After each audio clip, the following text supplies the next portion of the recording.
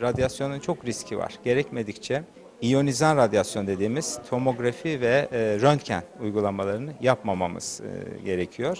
Gerekmedikçe radyasyon uygulamaları yapılmamalı. OECD verilerine göre Türkiye dünya genelinde manyetik rezonans görüntüleme yani MR'da birinci, bilgisayarlı tomografide 8. sırada. E, Benim bazen e, iletişim içinde olduğum e, bazı çalışma ortamlarında inanılmaz sayılardan bahsediliyor. Türk Radyoloji Derneği Başkanı Profesör Doktor Tamer Kaya da rakamları yüksek bulanlardan. Kaya özellikle hükümetin performans politikasıyla tetkiklerin arttığını, kalitenin ise azaldığını söyledi. Uzman e, anketinde de çıktı bu. Performans sisteminin hem eğitime hem de hizmete çok olumsuz etki etti. Eğitim sürecinde de çünkü şey var.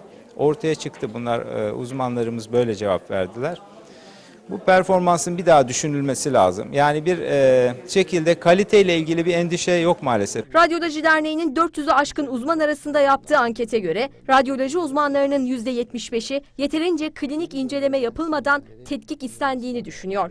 Gereksiz tetkikin bir nedeni de hasta memnuniyeti odaklı bir sistemin olması. Hasta memnuniyetinin ön planda olduğunu görüyoruz. Bu da çok yanlış bir e, uygulama. Profesör Doktor Tamer Kaya, hasta MR yapılmadığı zaman hiçbir şey yapılmadığı hissine kapılıyor. Hekim taleple mücadele edemiyor dedi. Gereksiz tetkike yönelik ciddi bir hassasiyet olması gerektiği, hele ki radyasyonlu e, yöntemlerde ve bunu tüm tetkik isteyenlerin yani yapanların değil, tetkik isteyenlerin de bu bilince sahip olması gerekiyor.